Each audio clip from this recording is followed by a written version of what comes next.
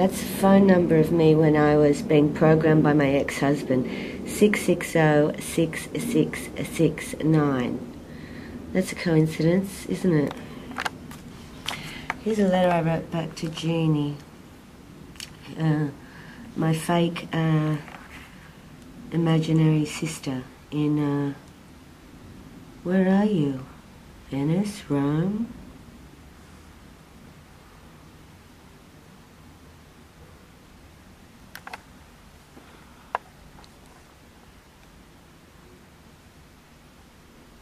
Hmm. Did you say goodbye to her? Will you see her in Paris? I don't know if she's still in Paris. And I rang Nora, but she's gone too. How about your daughter? Have you seen her? How is your relationship? I don't think I heard back after this one. Oh, but this is interesting. I'm not well though. I have a virus in my body that attacks me periodically.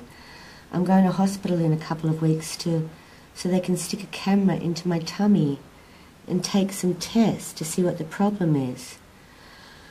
I've had this on and off over 12 months since I married the Frenchman, and it's really starting to depress me. It steals my life energy. I hope they can find some answers for me.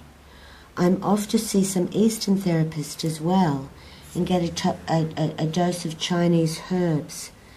I date this damn thing back to Bali, which was on my way back from the marriage, but it's yet to be pinpointed. Patrick is great, very popular boy. All my gay friends are after his body. It's terrible being in love with such a good looking bloke who steals all my limelight. He seems to be happy in Australia.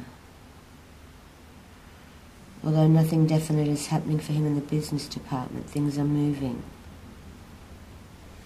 Hmm, 666.